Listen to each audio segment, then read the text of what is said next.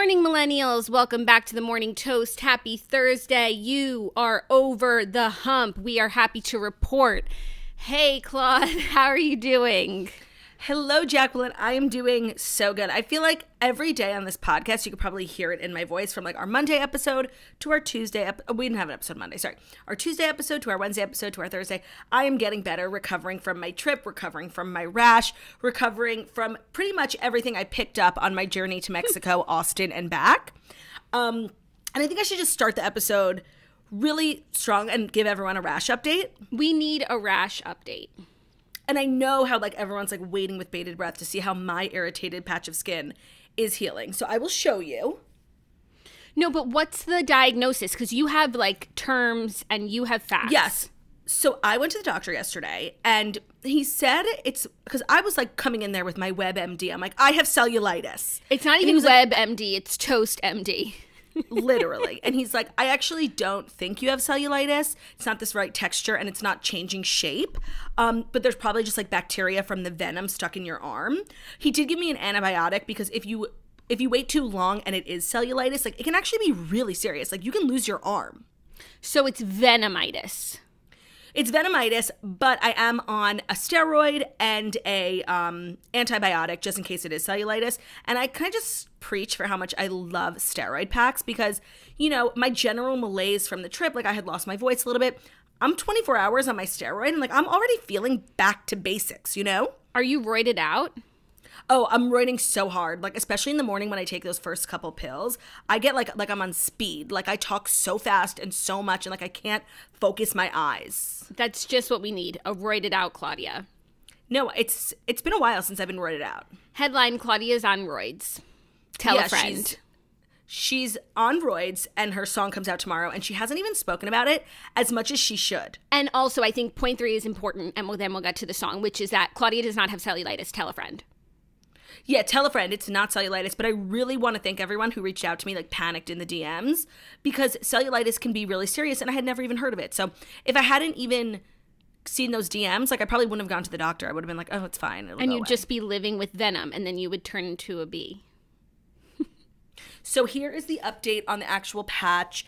It's the bump has gone down completely. It's just like discolored and it's not that itchy anymore. So hopefully by tomorrow's episode, I'll be like free and clear but we'll see. You never know where cellulitis can take you. You never know. And what we do know, though, is that your song is coming out tomorrow in what is maybe like yes. the the shortest lead up to anything that you've ever done. You're yeah. dropping a song on us tomorrow. I'm dropping a song on you guys tomorrow. If you follow me on TikTok, like you did get a sneak peek of the chorus last week. And if you follow me on Instagram, oh. you got a sneak peek of the pre chorus today. So it's called 100%, obviously. It's going to be available midnight tonight on all your streaming platforms. It's going to be kind of the cornerstone of my tour, which picks back up on Thursday, and then we're going like hot for four months. So I just feel like it would be incumbent upon every single person listening to this podcast to familiarize yourself with this song because, like, it will be the song of the year. And I'm not even like joking. Yeah, I've listened to it a number of times now, and it really gets stuck in your head. So just watch out for that. And I just have one thing to say We've got power, sweet and sour. Sweet and sour. Thank you. That's a lyric from the second verse that I think everyone will really, really be connected to. There's power in those words. Like, it's beautiful. No, the song is really There's, so good. Jenny, and it's, there's sour in those words. this song is so good and so fun and just like another anthemic moment from our queen. Thank you so much. And you know, the last time our song came out, we did a performance on um our podcast, which is probably one of our most iconic toast moments. If you haven't seen that, familiarize yourself with it. It's on YouTube. Um, but now that we're virtual, like I have to figure something out. It actually might be easier for me to perform my song virtually on the toast on you, maybe tomorrow or Monday. Like you could pre-record and we could add it to the episode we're gonna figure something out. Yeah, I think that would really add a special touch. Yeah, so stream it, Spotify, Apple Music, everywhere. Thank you. Very, very exciting. I can't wait. New Music Friday. New Music Friday. We also just have a great episode. It's Thursday, and there was I caught up on everything. I finished Cheer. I watched Euphoria. Last night was The Real Housewives of Orange County. So there's a bunch of TV recap in addition to just like the world turning. Once again, as period. it always does.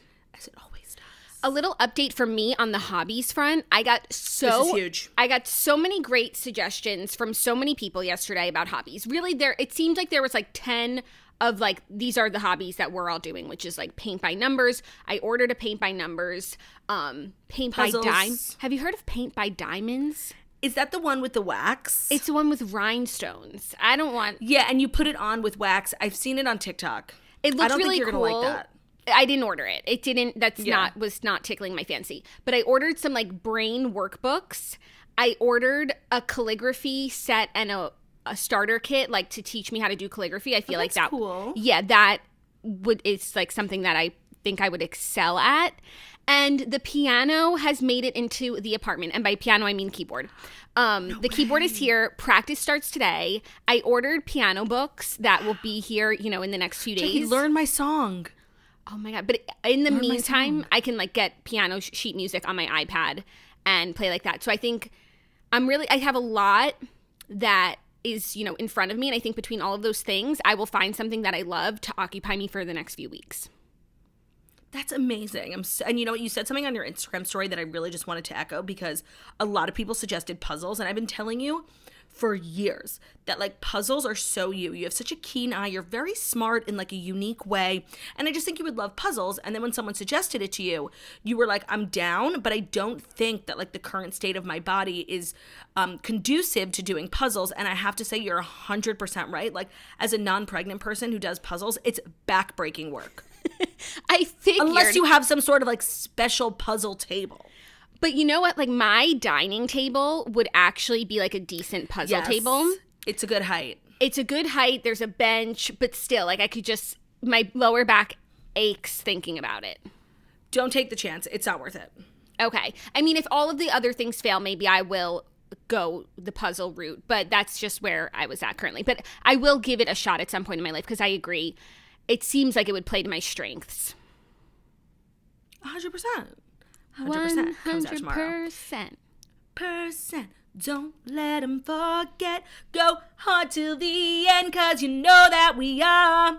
Um, also, I got a lot of feedback on TikTok when I teased my song. People were like, this doesn't sound like Claudia.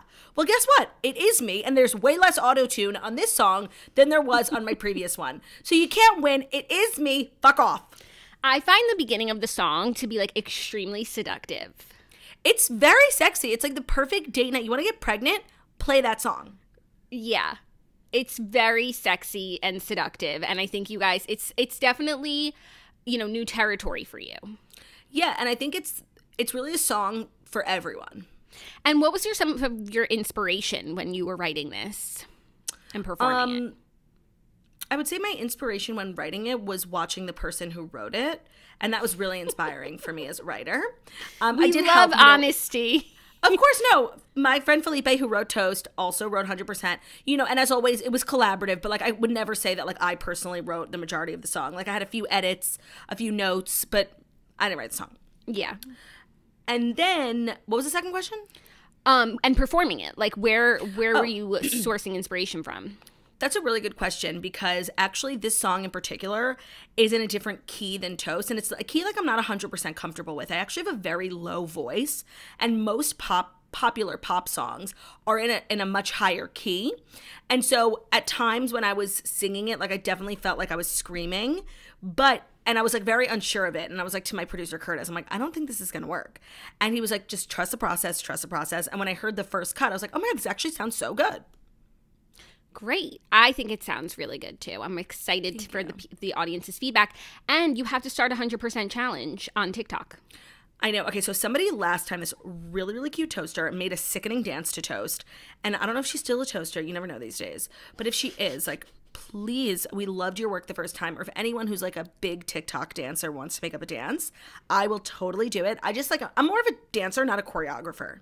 Okay, I mean you can't be everything. Singer, You Performer. can't. And I've tried. DJ. DJ. That was rough. That was. But now you're making the music. But it led me to this place. No regrets. It's also like crazy ass snowing in New York today. So if you're out and about, stay safe. And if you're ordering in food, don't be a dick. Like whenever it's snowing or raining like really crazy, like tip well. And if you can't, then don't order because it's treacherous out there. Yeah, it is treacherous, but it's a nice cozy day on the inside. It's definitely a reading day or a oh, piano day. For me, it's a catching up on Sex in the City day, so I could talk about it on the podcast tomorrow. I've been seeing some headlines about Sex in the City about like what the plots are, and it seems really bad. I mean, are you talking about Miranda and Che? no, I'm talking about one. I saw a headline like in the most recent episode, like Carrie's. Oh, then don't say it. Don't say no, it. no, I no. It's not a spoiler. It's just like a Okay. storyline. Carrie's like grappling with being called ma'am. Kidding. But I also did see, and I don't know if you've seen this yet, and maybe it's a spoiler for you, but I'm I'm just so don't say it. just please let me say it because literally it's really don't it's say it. really say relevant. it tomorrow. It's You really say it relevant. literally tomorrow, you could say Okay, it. could I? You're always getting on my ass about spoilers. Always. Okay, I'm gonna just tease it and let me know if you've seen this. That Miranda starts reading a book. Quit like a woman. Yes, and that's the book you were literally just talking about. Yes. Okay, yes, yes. okay, that's all I wanted to say. Yeah, Miranda is spoiler alert Well, now having a having. I've already seen it. Okay. Having a problem with drinking. Yeah, and this book, Quit Like a Woman, we were talking about on the podcast because I added it to my want to read shelf because it's called like the radical choice to stop drinking in a culture obsessed with alcohol. And I literally got an email to my email because Jackie's the only person I follow on Goodreads that Jackie wants to read this book, and I'm like, girl, are you okay? It still looks really good, and I probably am going to read it just when I'm pregnant. Like, it's not like a radical choice to stop You drinking don't have a choice. when you're There's pregnant. nothing radical. There's, nothing, radical, about, it. Also, speaking of books, really quickly, I just want to congratulate the Redheads because we hit 50,000 Instagram followers. I saw. and I just think that's like the biggest deal. I think so too. And it's just such a special, amazing community. We absolutely love doing the podcast. We love the books. And, like, uh, you know, to commit to a podcast is a big deal in itself, but to commit to a podcast that also requires you to read a book is like a lot of homework. So just to know 100%. that the communities out there is strong and that you guys are loving what we're doing and we're loving doing it, it just, it felt really good.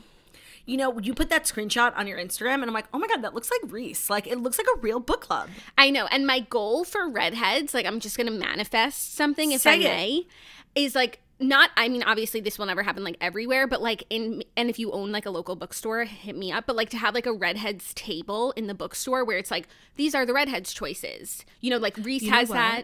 Oprah You know has should have that. done? What? You know what we should have done? Because not to like take your promotion and turn it into mine, but my paperback book does come out next week, available for pre-order on Amazon, and I'm doing a live event with Bar- Barnes and Noble. Get your tickets; you get a signed book with your twenty-five dollar ticket. Um, and this new printed paperback has New York Times bestseller on it, which I was like really proud of. And we should have put on the back a redhead's choice. Like, how dumb are we? oh yeah, we could have put that like circle. That would have been like the first, the first one. We're so dumb. That would be so cute. Yeah, that's like that's big Ting's dreams. But um Barnes and Noble tings. to have like a table that says like the redheads choices with all of the books that we've chosen that are available in That's store. That's really cute. I like that. That's That's, like- a good goal. Yeah, even if it happens at just like one local bookstore, if you you know are just working the front desk and you want to you know get a folding table and Take some initiative. get a folding table, organize the books, take a picture, and put them We'll make away. a graphic. We'll make a graphic for you A hundred per- one to put to put. percent. We need a button now. When we're back in studio, like how we have all of our sound buttons, we need to add a sound button whenever we're like agreeing with one another. Hardcore. One hundred percent. Don't let them forget. Go hard till the end, cause you know that we are. So good. So so good. Okay, so those are all of my updates for today. Mazel Tov on 50K. It's a really big deal. And you're just well on your way to becoming like Recio. Reese A girl can dream. Yeah, she can. So I guess without further ado, do, do, do, do, it is time for the fast five stories that you need to know before you wake up and take a bite out of your morning toast. And today's episode is brought to you by Spritz Society. At this point, if you're a toaster and you haven't tried Spritz yet, you are not living. Spritz Society is the most premium, the most delicious sparkling cocktail you'll ever have. As you guys know, it is our family business. You guys have been loving it. We've been loving it. It's going to be in stores soon. It's all available to order online direct to your house. Um, it's made with real ingredients, real wine, real flavors, and it comes in four fabulous flavors. So the wine is 100% real. It is super premium white wine harvested from California grapes, and there's over a bottle of wine in every four pack of spritz. The flavors are made with real fruit flavors, so that's real grapefruit, real pineapple, real blood orange, and lemon. And the ingredients there are only a max of six ingredients in every can of spritz. That's wine, carbonated water, cane sugar, citric acid, natural flavors, and the actual fruit itself. I don't know how many canned cocktails cocktails you could say that about, six ingredients, and you could pronounce every single one of them. It's 6% ABV, tastes delicious, so you know, it'll get you where you need to go with that 6%. You can order today, start making moments with Spritz, and you can buy one pack. You can buy a variety pack, which is where you can try each of the flavors, or you can scribe, subscribe every month to make sure that your fridge is always fully stocked. Head over to spritzsociety.com. That's S P R I T Z society.com. Order today, and of course, use code TOAST for 10% off your order. Life is too short for drinks you don't love, so choose to drink Spritz. Damn straight. Damn straight. And today's episode is also brought to you by Sunbasket. Who's ready to feel amazing this year? I mean, I'm on my my roids. I'm already feeling amazing. And thanks to Sunbasket, who delivers healthy meals, you aren't on the hook to shop and cook to hit your own health goals. And it turns out you're probably much better at eating fancy food than you are at cooking it. And that has never been more true for someone like me who didn't realize her oven in her apartment didn't work for the first two years that she lived here. Sunbasket delivers the joy of eating with bold flavor, flavors, organic produce, and sustainable seafood and meats. Their award winning chefs are constantly innovating with new recipes and global tastes to keep it interesting each week with dozens of options. Sunbasket's fresh and ready meals are a perfect hot lunch hack. Heat and eat in minutes. So that works for me in particular because I'm a gal on the go. They've got healthy snacks, grab and go breakfast items for busy mornings. Whether you eat vegetarian, paleo, gluten free, low carb, high protein, whatever it is, Sunbasket has something to check any and every box. You can choose from recipes like pan seared salmon, honey balsamic glazed chicken, chipotle, chipotle barbecue tofu salad. Jackie, you're a vegetarian queen. You could set up weekly delivery. You can skip weeks when you need to. It's simple and easy, and you will love it. Your family will love it. You'll love it at work when it's just like not the day for you to run out and get a salad. Trust and believe Sunbasket will make your life so much easier, and they're also offering $90 off and a free gift when you order when you go to sunbasket.com slash toast and enter the promo code toast at checkout that's sunbasket.com slash toast promo code toast Thank you, Claudia. Our first story, a little royal news. Queen Elizabeth is facing a hard choice in the Prince Harry security debate. She won't go against the government, a royal expert says. So, wait say that again Prince Harry is in a debate with the British government because they will not provide security, for him when he comes to the UK. well he's not a royal Right. Queenie Vibe is trying to stay out of it, but she's in a tricky spot, according to She Us is. Weekly. Um, and they're coming for what prince philip's memorial right yes. TBD if they're coming, I think it's like based on this security question. So, Well, can they bring their own security yeah. they have the means Yeah, no, they want free government funded security. oh girl come on like yeah. come on No, no, no. I mean, You're not royal. Like that's literally when you decided to take a step back, which was totally the right decision for you and your family. That's exactly what you gave up. Like and you were able to then go to America, make more money than you probably would have ever made as a royal and be able to afford your own security. I'm sorry, I'm siding with the government on this one, and that's something you will never hear me say. No, I agree. They gave up so many of the um of like the burdens of being royal and they also Yes. gave up some of the privileges and that's just how it is. You can't just like not want to do the unfabulous things and then also want free security. So a royal expert 100%. a royal expert you know take that with a grain of salt exclusively Melanie told no kristen contino. Exclusive but this sounds you know true legit. exclusively told Us Weekly that it's hard for the Queen as a grandmother to not really be able to intervene. She's not going to go up against the government and say, well, you know, you need to give him security, because right now the Metropolitan Police are saying they've conducted a review and concluded that the threat is considered low to him. This makes it one of those situations where the Queen is always going to choose being the monarch at the end of the day Right over being a grandmother. over being gran, which I think Hmm. Makes sense. I mean, I'm sure she's come up against the. I mean, we see it in the crown all the time. Like Margaret wants to marry Yeah. this person, the government says she can't. Like Queenie has to go with the government. Like she is the head of government technically. And you know what? It's not like the government's decision is wrong. I think like if she were asked what she agreed with, she would agree with the government. Like they're not being unreasonable. You're Yeah, but I'm- royal anymore. right, but I'm sure also a part of her just wants Harry and Meghan Them to, like come. come. and be in the fold and like be Mm-hmm. happy with the family. Well, to be honest, it's like low key annoying of them just like if they want to come, like and it sounds like they do because they're wanting security, like they want to come. It would be, uh, you know, a step in the right direction. With I know him and his brother aren't speaking. Like, just pay for the security. Like, to them, how much could it be out of their millions and millions of dollars? Like, what, a couple hundred grand? Yeah. I agree. Just pay for the security. Just pay for it if you really do want to go. Unless this is like, you know, well, we were coming, but then we wouldn't get security. So it's like they looked like they wanted to come, but they didn't actually want to come, which is something I would do. Like, Could be "Oh, that. You can't send me, you can't send me a private jet. I guess I'm not coming. Also, they could like just stick close to the family and, you know, piggyback off of their security. Yeah. But then they have to be like close with the family and there's a lot of drama still. You know what's so interesting is like, and I've learned this during the Oprah interview too, and it seems to be ringing true. Is like so much of these like issues within the royal family have to do, especially when it comes to Harry and Meghan, have to do with security. Like what? Like when they were talking to Oprah, it was just so many of the issues were like, well, we didn't feel safe because we didn't have security. It's like security is such a big part of the family dynamic, weirdly. Yeah. Yeah. I mean, it, I think it's a big part of their lives in general. Yeah. Um, but I'm sorry, Harry and Meghan are wrong for this one, unless they just don't want to go, which I totally understand. That I could see happening, but I do hope that they go because Same. I'm ready for uh if, if they're sincere, if they're sincere about like you know reconciling with the family, and if they're not, just stop talking about them. Then Right, no, and, that's so fine, I'm too. so here for a reconciliation. I'm me as well. Like families are meant to stick together through thick and thin. Yes. So we'll see what happens there. Are When you, is the memorial? I don't know. Up mm. soon, probably. Are you ready for our next story? I am. Yes, ma'am. Lena Dunham wants to make an older, wiser version of girls, which Enough. We've been through enough with you, Lena. Stop. nobody asked for.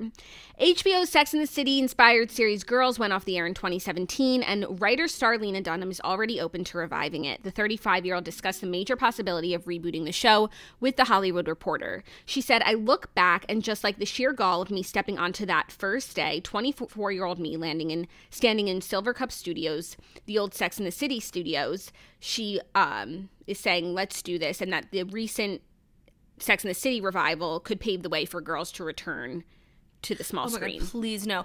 I'm telling you, girls could never return to the small screen for one reason, and that's because Lena Dunham, like, overnight went from being like the most beloved belle of Hollywood to being the most hated woman in America. And I'm not sure if it's because of that really weird shit she wrote in her book or that article she wrote. Who said it? My Jewish boyfriend or my dog?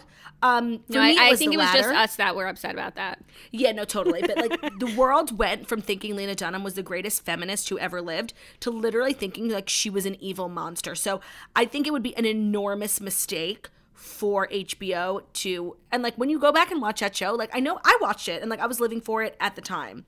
But if I were to go back and watch that show, I would be like, what the fuck am I watching? It low key wasn't good. I mean, it had good moments that I think really captured people, but overall, yeah, it was like so insane. Yeah. And it got more insane as the seasons went on. Right, because it was supposed to be like this actual realistic version. Like in Sex and the City, they all had their own apartments. Like it was a real, you know, accurate retelling of what it's like to be like a post grad millennial living in New York after you just left college and like your parents cut you off. And for that, I think that's what got a lot of people connected to the show because they were all living the same reality. And then slowly but surely, like that grip on reality they had just completely went away. Completely. So I don't think that there's a, t- a need for this, a time for it, a want, a desire. I think, and I think like Lena Dunham, if she wants to come back to the small screen, like give us something fresh and new, and we'll see how it goes. yeah, or not. Or not, of course, or not. It's always good to just like stay home. I loves to stay home. and be a But- girl with no job. I think girls, we're good on girls. I'm all set. Thank you so much. Yeah. Are you ready for our next story? It's a little Ben news, a little exciting news for Ben. A new Oh, I emo. you said I thought you were saying Ben is in the news. no, yeah, I know it's that's what it sounded like. Sorry, I just can't read the story without thinking about Ben because What is my crazy husband getting into now? Nothing. A new emo festival is reuniting Oh, yeah. all of your favorite acts. It's called When We Were Young. It's taking the internet by storm. It's going down with some of the most iconic acts in emo and pump pop punk music of the last two decades, including My Chemical Romance, Paramore, Dashboard Confessional, Jimmy World, Bright Eyes, Taking Back Sunday, The Used, Alkaline Trio, and AFI, to name a few expected to appear Avril Lavigne. at the one day only showcase at the LA Festival grounds in Nevada on October 22nd. So there has been like two major reactions to the story. The first was like, holy shit. Like all the emos that I follow, like Ben, Jack Vanek, Erin Guilfoyle, like they mm-hmm. are quaking. They can't believe la da da. And I was very much there too because I saw Boys Like Girls on the lineup. And like, I don't know if you know this about me, but like, much of my middle school years were defined by that one album from Boys Like Girls. Like, and if I listened to it right now, I'd probably know all the words. Like, it's so good. Like, I spent a whole summer listening to that album. So I was really excited. And of course, Ben was excited. So he was like, Can we go? And I was like, I mean, we could say we will, but we know we won't. Then the second reaction is people are like, How are every single one of these acts going to perform on a one day festival. This is Fyre Festival. This is Astroworld. Like people are doubting majorly because I've never seen a lineup that big for a one day festival. Huh. I didn't even think about that, the bandwidth. And also, or, you know, even say it's not Fyre Festival, but it means that like you have to choose between some of your favorite acts if they're going on simultaneously. Also, I'm seeing here that We the Kings is Mm-hmm. performing, which is just so exciting. 3OH3. Juliet. Do you remember? 3OH3, of course. So, okay, that I hadn't even thought about that. I do feel like this is too much for one day, but I also feel like Vegas has a lot of the um it's not Fyre Festival Space. because they have the infrastructure in place I to agree. handle like mass amounts of people. But if I'm Ben, like I'm excited and I'm overwhelmed. Nervous, yeah. So like it's true. Like, do you have to miss Paramore to see Avril Lavigne? Like, how does it work? How does it work? I feel like you guys should go. Well, this was also a big week for the emo community because Paramore announced that, like they're back in the studio making music and they haven't made music in years. Um, so that was, it was just like a good time to be an emo kid. Like I would go, but I do feel overwhelmed. Like I can't lie. Well, then Ben should go because this is Like I feel like I would need a whole spreadsheet. Like I would need a crazy ass spreadsheet with a map and color coordinated tabs to figure out where to go, what time to wake up, who to miss, who to see. Like I'm tired. No, but usually these festivals like have apps that give you exactly that, where you like Oh, build your do they? schedule. Yeah, you say like who you want to go see, and they put it on a schedule for you, and with like what uh, stage it's at, and there's usually a map. If it's a well done festival, there's usually an app. Well, this is backed by Live Nation, but so is Astroworld. So you really never know. I, I, and and I think it's something in the culture because I'm feeling it too. Like I'm just generally now skeptical of festivals, especially new ones. Yeah, I I think that's fair to say. I think Fyre Festival definitely you know put that fear in everyone of And Astroworld. yeah, but for different reasons. For different reasons. Yeah. Like No, Fyre Festival before Fire reasons. Safety. before Fyre Festival, no, it was like never even thought that like you could buy tickets to a festival that's being put on and, get it, like duped. and it just like doesn't happen and it's just like sandwiches in a tent on a beach. Yeah, you were bamboozled. Yeah. So they they're different, but still eventually it becomes an issue of safety, but for different reasons. Yeah, I that's true. say. Are you ready for our next story? Some exciting news. Only if it's the exciting news that's brought to you by Single Drunk Female. Hmm. Is it? Yeah, yeah, yeah. yeah. Oh my god, thank God. Okay. Samantha Fink is a person in progress, and being a person is hard. Single Drunk Female is a new freeform original series coming to Hulu this January. It's from the executive producer of Girls and the executive producer of Russian Doll. Samantha used to get drunk all the time, but now she's getting clean, and that's gonna get real messy. Fresh out of rehab, Samantha is forced to move back home and live with mom, who she affectionately calls her smother. She's working at her local grocery store, taking naps in the cereal aisle, and going to meetings. Sam's sobriety one day at a time, but the days just keep on coming. With her former drinking buddy and newly found friends of the program by her side, Sam is trying to make the most of her second chance, a chance to start over, a chance to be a slightly better person, a chance at love, because when you start at rock bottom, the only way to go is up. Check out the new dramedy that is sure to make you laugh, even if sometimes it's just to keep you from crying. Single Drunk Female series premieres Thursday, January 20th on Freeform, and it's streaming on Hulu. So that is today, you guys. Don't miss it. Thank you, Claudia. And our next story is some really exciting relationship news from one of our favorite people, Lady Mary Crawley. Michelle Dockery, the actress who plays Lady Mary, is engaged to who? Phoebe Waller Bridge's brother, Jasper. What? Yep, they've been together since 2019, and news of their nuptials was announced in the Times this week, and they are engaged. That is so cute. So cute. I, I feel like I never see Is he people. British? Yeah, I, I mean, I don't actually, I don't know because I don't know I Phoebe Waller Bridge. is. I don't know her. Wait, Phoebe Waller Bridge. I oh, that's not Phoebe Bridgers. Don't ask me questions. Phoebe Waller Bridge. Okay, it's from uh the show on Amazon Fleabag. Fle- about a bug. Yeah, Fleabag. And she is British, and so her brother is definitely British, and that is actually cute. I thought I was thinking of Phoebe Bridgers, the singer. Yep, don't know either of them. I'm so sorry to report. That's like honestly like Phoebe Bridgers is like a Gen Z thing, and I only really figured her out because I'm on TikTok. Okay, good. I'm glad that someone has a, a brief knowledge. But we never see people from Downton in the news. They're so Never. to themselves. They're and British, like they they just like quiet. Yeah, and I'm just so happy for Lady Mary. I really never thought about like her personal life. I remember after I watched Downton the first time, I went to her Instagram and saw that she's like so high fashion and just like a darling of like being. Is she? Yeah, she's like super serious. Like the way that she dresses or like gets styled for magazine shoots or red carpets, she's like very um fashion girly. What's her na- real name? Michelle Dockery. I was gonna search Mary Crawley. um, I'm gonna follow her. Like that sounds like a like a delicious person to follow. She her pictures she gives me um Kristen Stewart vibes, Yeah. like Yeah. similar seriousness. So now she's engaged. Also, I found out the craziest thing yesterday about, you know, like it's on the same level of Tom Wambsgans playing Yeah. Mr. Darcy. Uh huh. The woman from Ted, Rebecca, the one who's a singer Wait, hold on. The singer from from Ted. Ted, Lasso, sorry, Ted Lasso. Oh, But you oh, know Hannah. who- Hannah. She's Yeah. Rebecca on Ted Lasso. You know her because she sings sometimes. Yeah. She is also the same woman who played the shame woman in Game of Thrones. You're lying, like the nun. the nun who was like walking down the street with Cersei Throwing Judy. Shame, shame. Wow, that is actually life changing information. It was shocking. That woman was so evil. life She's changing a good actress. information. How she could be shame and also like you were telling me Ted Lasso's like this great, funny, lighthearted show. Like that's shocking. Shocking, shocking stuff. Shocking. Yeah. So I just thought everyone needed to know that. I don't know if everyone already put that together and I was just not watching Ted Lasso when everyone figured it out. Probably. it was it was a shocking moment for me. There are a few moments like that that like you learn things that like people already knew and it like changes your life. Like when I found out that Brexit was a conjunction of British exit, I swear to God, I lost my mind. Yeah, no, it's like we're always pushing for stuff like that to happen, like for people to join words together and just like call it And what there it was. And there it was happening all around you.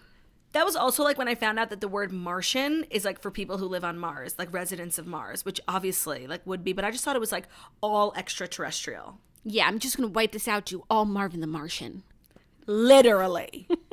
Wait, that's a great segue into our fifth and final story, which is a little. Space. Is it about Clueless? No, it's oh. space news. okay. Space news that like I want to be, you know, on the frontier of the future of space travel. Like I want to be into this, but this seems unnecessary. Let me know what you think. Okay. A new film studio will build will be built Oh. in space by 2024. Variety. This is from Variety. Well, is it to put together like Oscar contenders or like films of like we get to see what's happening on Mars? I don't know. I feel like it's like Sandra Bullock up there. yeah, no, like uh I don't know if it's going to be like a hub where they shoot space movies. Here's the I feel like here's I, the Jackie, it has to be it has to be a studio where they like capture footage of what's going on so they can study it, not to make like you know country strongs in space. Well, listen to the deets, and then you can let me know what you think. Space Entertainment S- Enterprise (SEE), the company co-producing Tom Cruise's upcoming space movie, plan to launch a sports arena and a production studio in zero gravity. SEE has unveiled plans to build a space station module that contains a sports and entertainment arena. Who are they filling it with? Martians, as No, well as a literally has Scientology written all over it. as well as a content studio by December 2024. a podcast studio. Named SEE1, the module is intended to host films, television, music, and sports events, as well as artists, producers, and creatives who want to make content in the low orbit microgravity environment. The facilities will enable development, production, recording, broadcasting, and live streaming of content. We could do the oh, toast from the space. toast. I thought Okay. this was a dumb idea until now we're that. talking. No, I mean talk about like such unnecessary money being spent. Like this is so unnecessary. I, and or if it's necessary, someone please explain to me like what this is going to do for society. It's like, do you want to go record our podcast today, like at the studio down the street, or the one downtown, one in or space. the one in space? Like, what is the difference? Is the audio better? and to be honest, I well, don't Claudia, think there's no ambulances in space. that's true. There's no construction. I just don't think like we are at the level of space like education and knowledge for this. Like this seems like something we might do in a hundred years, you know? Yeah, not by 2024. And I also just feel like things aren't really like, I wouldn't say perfect on Earth. On the ground. that we need to now be taking our talents to space. Well, you know what? If it means getting away from all this nonsense going on around me, like maybe it's not such a bad idea. You could use some space. Yeah. I could use some space. Yeah.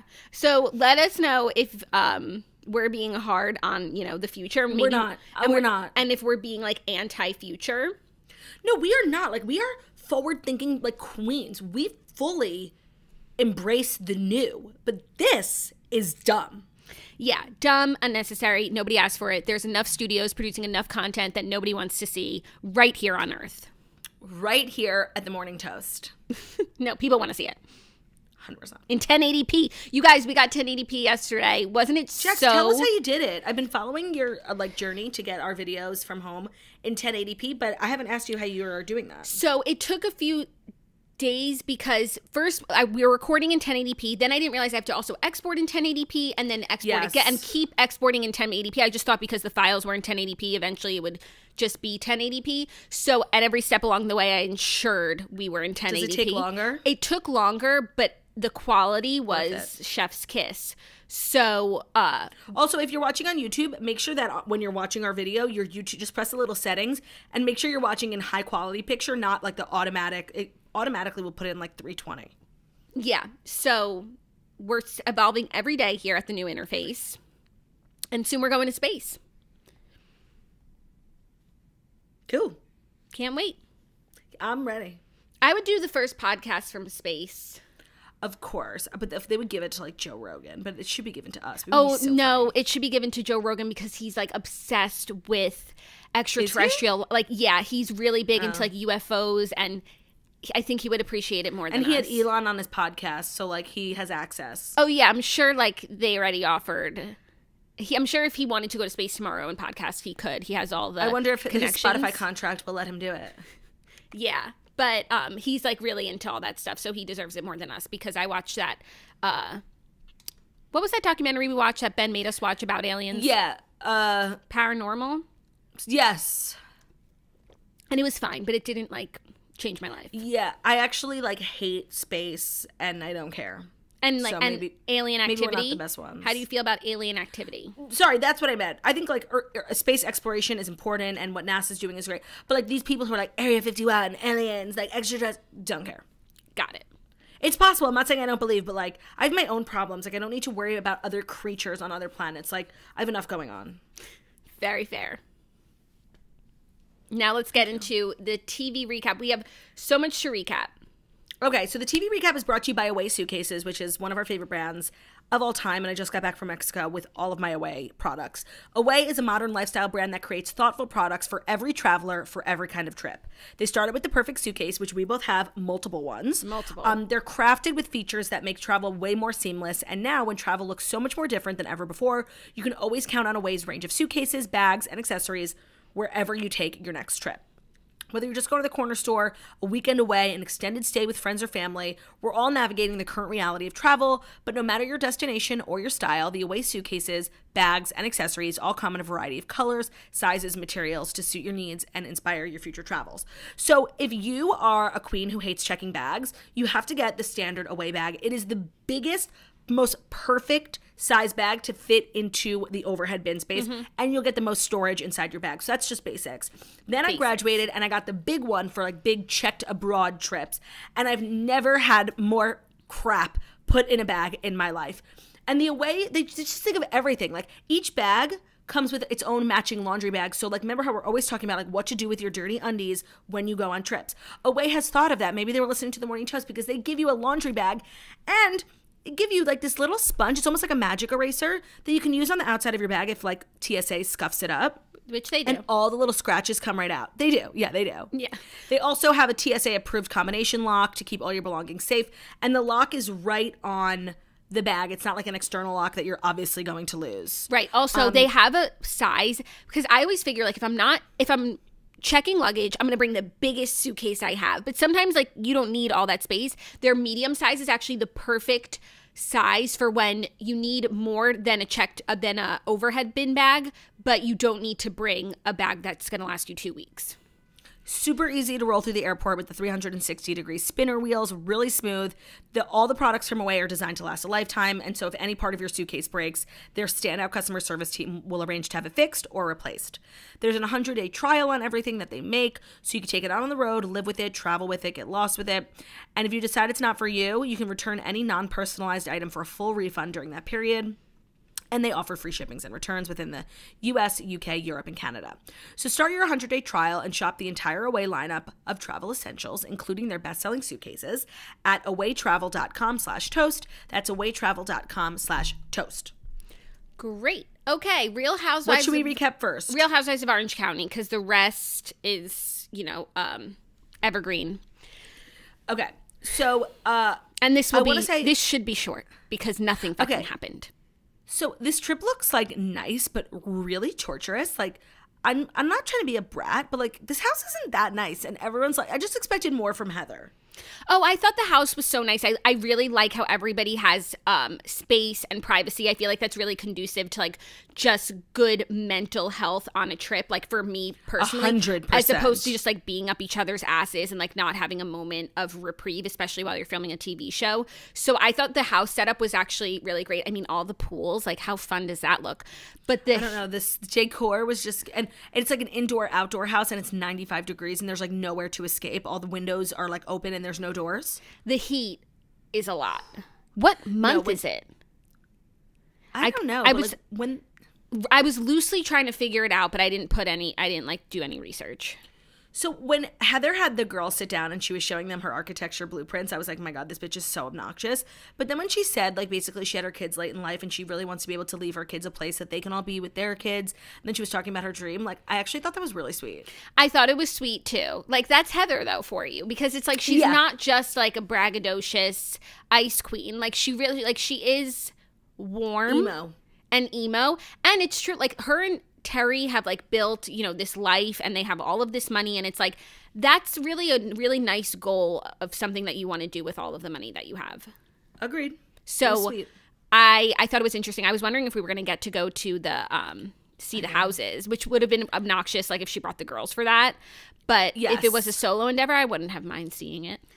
So Shannon was like actually not bothering me that much this trip. Like I do feel like she's her the best version of herself, like when she's drunk and on vacation. And so she was being funny and like I like how her and Emily are like hanging out, but like they both obviously hate each other, you know? Yeah, no, Shannon is staying low key under the radar because she, you know, she girl boss too close close to the sun. Mm-hmm. Heather burned her.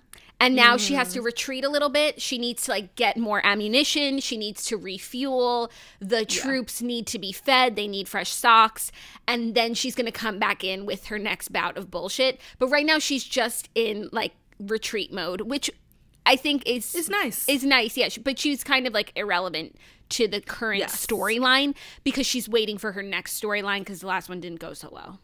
Do you think it's kind of dramatic of Nicole to not go on the trip because of Noella? It makes me feel like there's something more going on between them because as far as we know, like they're just like having a weirdness in their friendship. Like Nicole hung up on Noella, but like they haven't like gone into like a blowout. So it just seems like a really dramatic thing to do. Yeah, and it makes me feel like that's not the only reason because I also feel like if Heather knew that Nicole, it's like Nicole or Noella, come. then she would say to Gina, "No, I'm not inviting Noella because then Nicole can't come, and Nicole is my friend." So Th- But you know what? Heather might not have had a choice because Noella's a full time castmate and Nicole is not. Right. I was just going to say that too. So it's like Nicole's presence is optional. Um, I would have liked to see her there because I think I like her so far. And Yeah, me too. Even though everyone's like now saying she's like Heather's um, henchman, She is, but I don't mind it. yeah, no, someone's someone's got to do the work. Someone's got to do it. Yeah. Um. Also, I just want to like give a major shout out. Sorry, I feel like I'm writing really hard this episode and just like talking a lot and really fast, but I'm on roids, so just let me be. Um, this episode for me was just like another testament to why long ago I made the decision to stan Emily Simpson. First of all, she's so funny and like she's so different than she was like her first season. She's opened up so much more. and she's just like great and she looks amazing in a bathing suit. I've never seen anyone like look like a like so good in a one piece. And I just love her and for me I just was like cemented in my stanitude for Emily after this episode. But I I say that after every episode. Yeah, you do. I really love her as well. I really like Gina too. I think she just has a Same. good Uh, energy. energy, just a good take on things, generally speaking. I mean, I wish she didn't go so hard for Noella, but someone I had feel like to. that was like a production thing. Like I don't really think she cares for Noella that much. no, and I think that like she likes Noella. Noella's going through a hard time, so we're all going to go on this trip without her. Like this is Noella's new job. Like she should just come, whatever. Can we talk about the passport? Because you're telling me like you are so fancy, you have your own jet, and you don't know that to go to Mexico you need a passport. And by the way, flying private means nothing. You still need a passport. So Like, she was do. saying that when she flew private, she could use her passport card. I don't think that's true. Like I literally was just in Mexico. I mean, I hope it's true. Otherwise, what the fuck was is she, She talking sounds about? so dumb. I'm telling you, I don't think it's true. Someone who works in customs, like, let us know. I don't think that's true. No, It's just sh- like basics. The one thing you need to fly is a passport. She's incredibly deranged. Insane. She's insane. When she showed up at the house after missing her flight and is like, "This is disgusting. Nobody's here to greet me." Like, you missed your flight. Yeah, no, you missed your flight. You didn't come with the girls. Like, they didn't even know you what time you're arriving, and then you arrive and you're like, a real hostess would be there when I got there. It's And like, you only told Shannon. so she needs to sit around all day and wait for you to come. She doesn't even want you on the trip. And she needs to miss dinner. She just like walks around the house talking to herself. Like she, She thinks is- she's so funny. Like she's not. she really does like think that she's doing something. And the thing is, like, she's so stunning. Beautiful. And the outfits are sickening. And The she just like comes off the plane in like the perfect plane Stunning. outfit. Then she's ready for dinner, like in the like. And I thought some of the other ladies' looks like they looked like they were all going to different places. Heather and- looked amazing though. Um, she she did look amazing, but it's it didn't wasn't giving me like uh m- beach Mexican. in Mexico Yeah. vibe. It was just like a Yeah. nice outfit for a night out in like New York City in the summer. There was no like bright colors. Yeah, I see you. Right. So they were all were all over the place. Noella understood the assignment, like shows up. So it's hard. I feel like it might be hard for some people to see when this woman is so fabulous on the outside that like her behavior, if if she was anyone else, like the behavior is insane. Well, she acted like a nut at dinner, like with like. Well, I don't care that Heather like um, Gina had the best thing. Like, if you're not gonna eat, just like be cool about it. Like, like pretend like not making your topic of conversation being the fact that like you didn't eat your octopus. She was just being so annoying with the tequila shot and like being so rude, like pouring out the drink when the guy was like, "Can I bring you some ice?" Like, it's a tequila shot. It's gross. Just drink it. Like, Yeah, no, it was a lot. And I feel like it's hard to, I mean, watching the episode, it's like, yeah, this doesn't seem like a fun dinner anymore. But I feel like the energy, if you were there, is like even worse than what we were able to understand from watching on TV. Like, she, I think she just like came in, sucked out all the Hot. oxygen from the room, like made, I think they were having a good time before and like vibing. And as a viewer, it's just like, oh, she didn't eat her food and she's like complaining about her shot. Like, what's the big deal? But I think she's just like someone who just like sucks all the energy out of a room the minute she arrives. Yeah, because this group is like actually pretty good together. Like Jen is growing on me. They're all vibing in like a nice way. Like I actually think Jen is really similar to Heather in like their very calm, sometimes boring vibes. So they really connect. But then Heather can also be, be really fun, and that's why she connects with Gina and Emily. Like I think that the group is like near perfect without Noella. There's she just like doesn't fit in, especially because it's Heather's trip, Heather's everything, and they're at odds. Yeah, and she like doesn't understand why that matters that her and Heather are at odds and like Right. it she's just like coming in out of nowhere. So We also got a really good trailer, mid-season trailer for what's coming up. Like this trip to Aspen looks moronic. Uh, Dr. Jen's husband Ryan leaves her. yeah, now when I saw that, then it makes all the last few episodes like make sense where she's like always complaining about Ryan. I just thought they he's were wrong. like Like, one of them has to work, and then he's like mean that she's not home. So you go to work, bitch. What do you think? This house on the beach is gonna pay for itself? no, I don't know what I'm gonna see in the next few episodes, but I just know I'm not gonna be Team Ryan. No, Jen has her head on straight. Like she definitely has mom guilt, but like she has to work. Like what are we supposed to do? Just not work? That's not how the world works. Yeah. Yeah. So he was pissing me off, and now that I know he's like leaving, I'm fully on board, like hating him. Yeah, and I think that it will raise Jen's stock because when her family scenes were like making me not like her because like her husband and now no I- shirt now and the know, dog in his know. armpit all the time, like Yep, leave us alone. But Ryan, if, if Ryan. it's Jen on her own, I'm we're good. No, and now I know why we've seen like so many weird scenes of her and her family. Like they were giving us some context. Oh my god, Bruno looks so cute sleeping behind you. Yeah, no, he's sleeping on heating pad. He does this every day while I record, but you couldn't. But he's usually not in frame. You moved back today. I did. I moved back today because like my big fat face was just taking up the YouTube screen, Girl, and I actually got I got um an email from YouTube, and they were like, "Your face is too big and too close, and you've got to move two, back." They said, "Dear the Morning Toast, you two hookers are so ugly and not funny. Get the fuck off our platform. We don't want to deal with your bullshit anymore." But if you can't stop yourselves, the least you can do is scoop back, Is move back. and give us more brew. Have a good day. Literally. That's what they said Um, to me. Oh wait, you know what? I think Theo's done with his grooming. Should I go grab him or just like Do him outside? do do. No, it's okay. I'll see him later. no, don't get him. I think maybe for tomorrow's Friday episode, we'll bring the boys. Okay. Okay. We'll bring in the boys. We them boys. We making noise.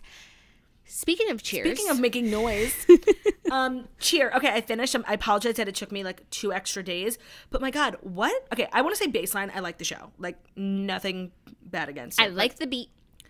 I like the beat, but we need to talk about how, first of all, the show is so long. The episodes are so long because every single scene is in slow motion, and they like didn't have a lot of content this year, and it felt really stretched out. Like I saw a couple scenes that I had already seen once before. Like they were choppy with their editing. Like it could have been five episodes, but like they just had to like dramatize it so much, and it was just such slow mo. Like it was just a lot. Yeah, it was a lot. I will say it was cool that they got to bring the cameras to Daytona. Yes, Because when you're watching the performances, I felt like I was watching Bring It On. Like the way that they edited those performances. Like last year, I they loved it. they didn't let the crew in and it was just filmed from people's phones mm-hmm. and we just had to make do but like it literally felt like bring it on it was so exciting to watch all of the like stunts like close up far away Yeah. it was really cool Well, NCA would be incredibly stupid not to embrace the filming now, seeing as how what this show has done for Cheer. Like Cheer has always had like a big audience, like like really niche fans, but now it's like a worldwide stage, and they would just be dumb not to embrace that. yeah and they the cheerleading like i don't know how it works over there the cheerleading illuminati came, came off pretty bad in the first season Yes. so i feel like by just like letting them in and not deal like not making a stink or anything like now i feel like they're coming off in a better light and not being so like uh tyrannical Agreed. And so, major spoiler for anyone who hasn't watched, just like turn off now. Navarro lost, and I was shocked. I mean. It's funny because TVCC like beat them at their own game. Like they hired their photographer, they copied all of like the attitude, like they copied. Oh, what did I say? photographer that too. Um, well, they did. Now they were on the Netflix show.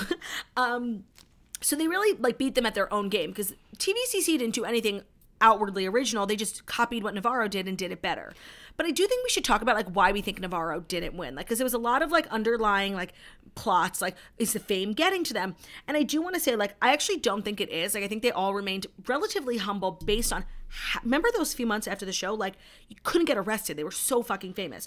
So I think based on that, they were really not that, you know, egotistical. But I do think, and it pains me to say this, like Monica going on Dancing with the Stars and missing the first semester, like, and leaving them with Kailee Peppers, who is a good coach, but who's literally like two years out of college. Like, I didn't think that was a good idea.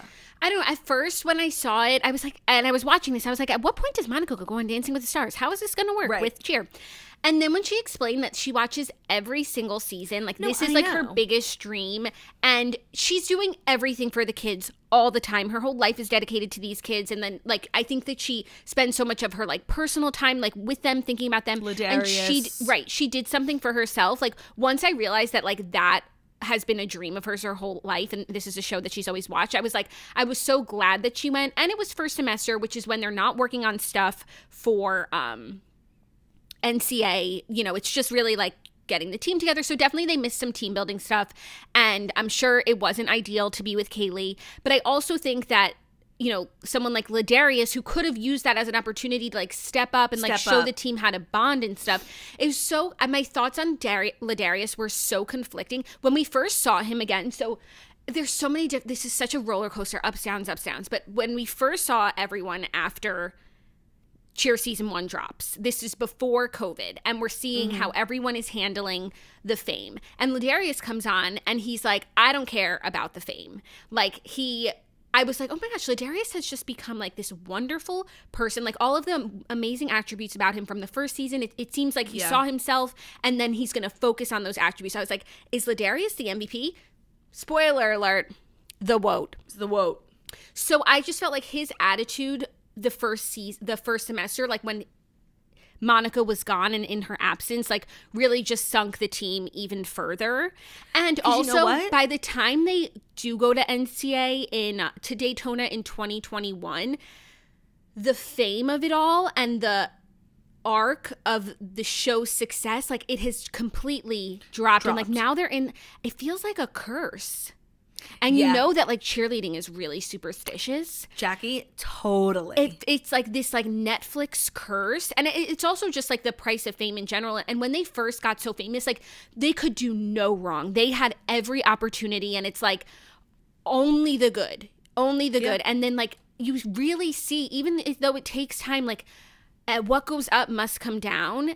And Yeah. the down, it, it makes me feel like if they could do it all over again, like they wouldn't have done. Maybe some of them would have, like I think, you know, for Morgan and Gabby, like this is everything. But I, I Yeah. honestly, I think for Monica, yes. she's feeling so low for like over a year.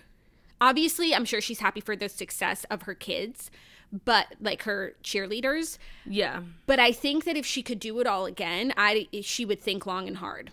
I agree. And you know, at first when they were like cutting to TVCC, I'm like, fuck this. Like, I'm Navarro strong. But then the more we got to know those kids, like, actually, I wouldn't mind having two separate shows. Like, because the weenies, D, like that, I thought their whole background was so interesting. Like, learning about gyms like Flip City that, like, just started to keep kids out of trouble and then literally ended up sending kids to like the Olympics and worlds. Like, I thought that was so cool. And then Angel, who like we didn't even get enough of, but it was apparently like the greatest tumbler who ever lived. Like there was more there, and I thought those kids. I really liked Jada. I thought a lot of them were really interesting.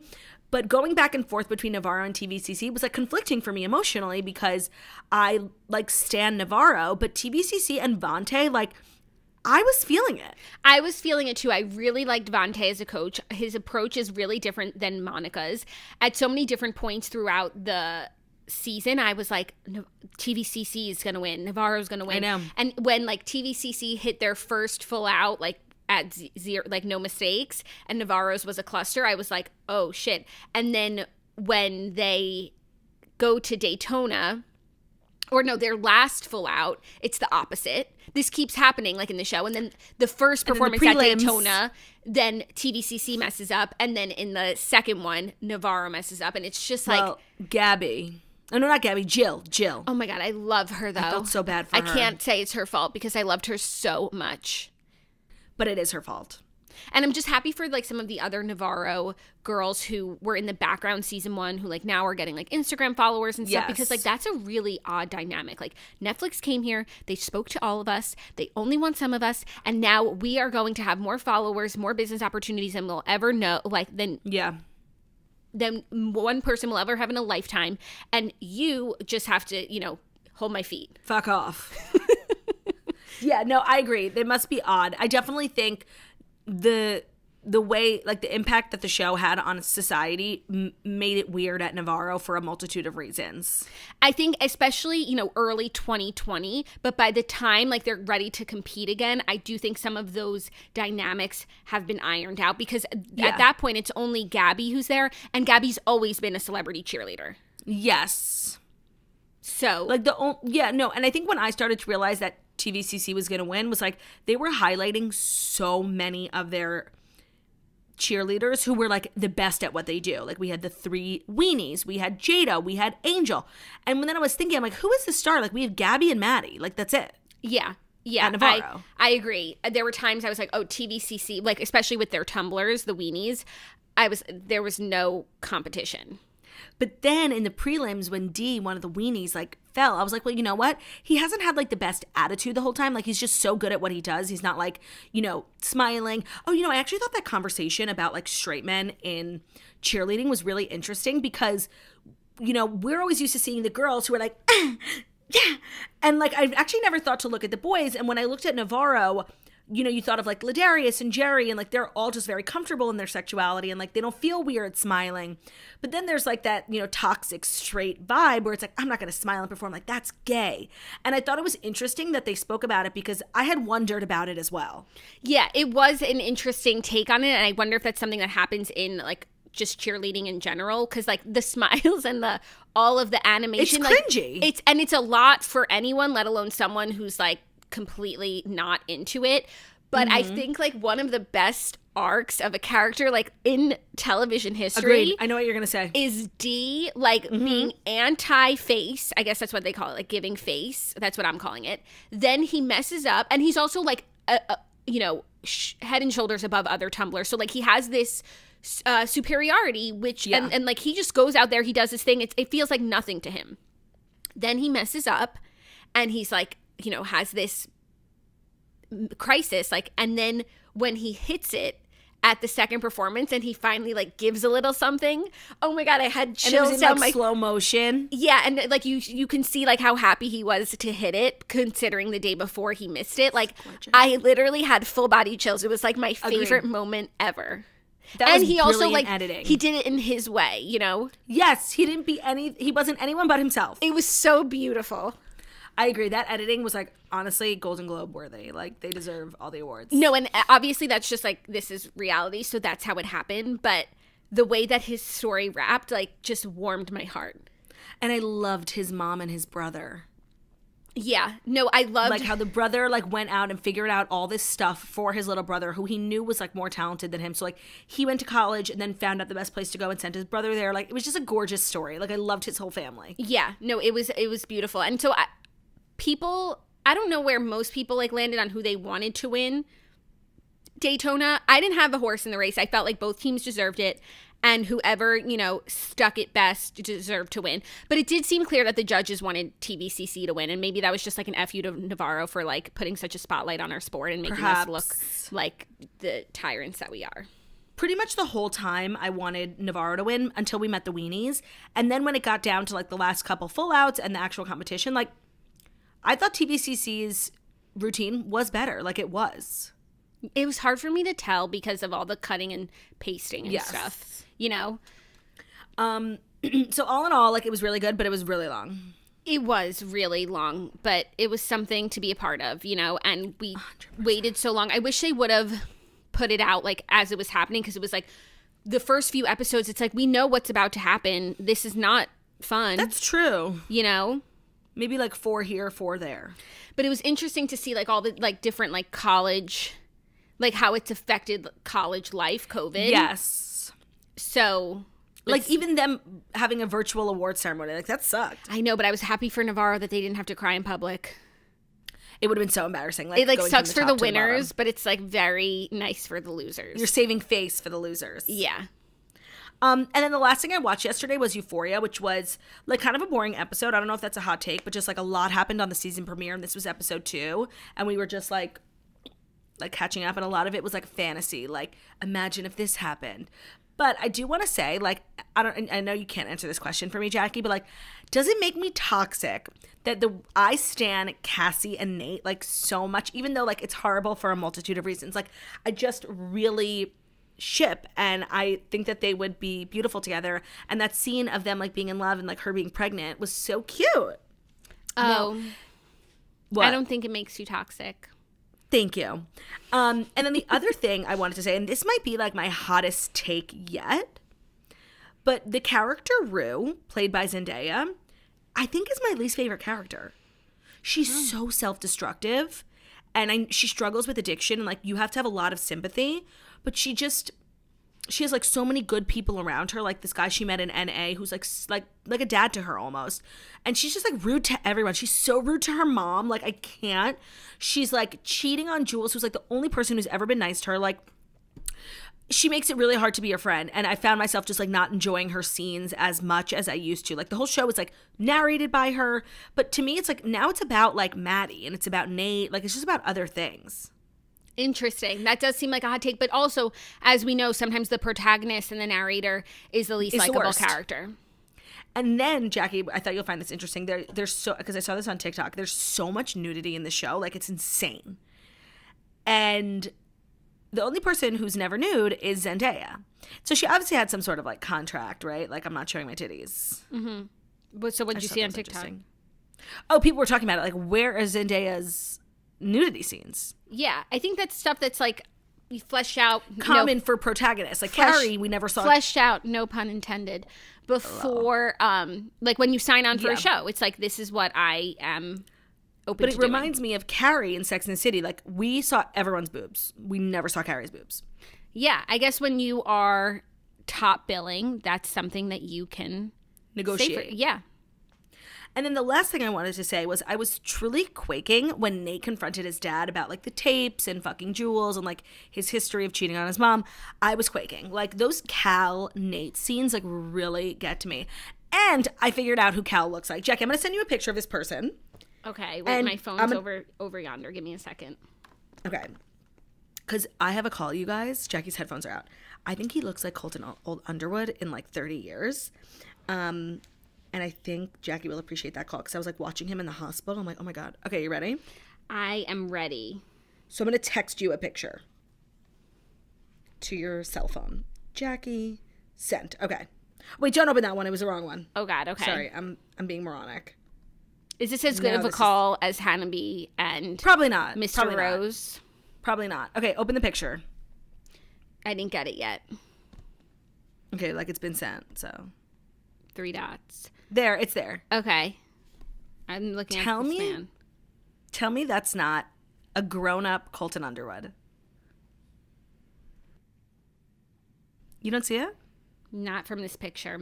But a lot of my like calls have to do with mannerisms and expressions. And so if he So maybe you need to start watching Euphoria. if yeah, if I saw him in action, maybe I would agree, but I can't go off of a picture. I'm sorry. Okay, well if you watch Euphoria, let me know what you think about that call. I don't think I'm gonna watch He also looks like, like a combination. Actually, do you, you know what Colton Underwood's boyfriend looks like? No. Well, he looks like if Colton Underwood and his boyfriend had a baby, and the man was 50 years old. Got That's it. my call. What's I'm- I'm this guy what this guy what's he from? He's from other He's stuff. giving Riverdale. He's giving something. what is his actor oh Eric Dane. Uh What's he from? I don't know, but that's definitely a familiar name. I feel like he's from something that we fucking love. Yeah, no, Burlesque. Burlesque. Burlesque. Oh my, he's the rich man who tries to date Christina Aguilera. Yes, exactly. crying. Ugh, isn't that just the best feeling when you when you scratch figure that it out itch? on your own, like without IMDb. Oh, I used IMDb, but it's a better feeling when you figure it. Yes, when you figure it out on your own, Lady Shackleton. So that is my um final thoughts on Euphoria. Hopefully this week's episode like something happens because nothing happened, but it's still like an enjoyable show to watch even when it's like boring. Got it. Okay, cool. Well, thanks for updating us. My song comes out tomorrow. Do not forget. Well, it comes out at midnight. Well, tonight, yeah, midnight tonight.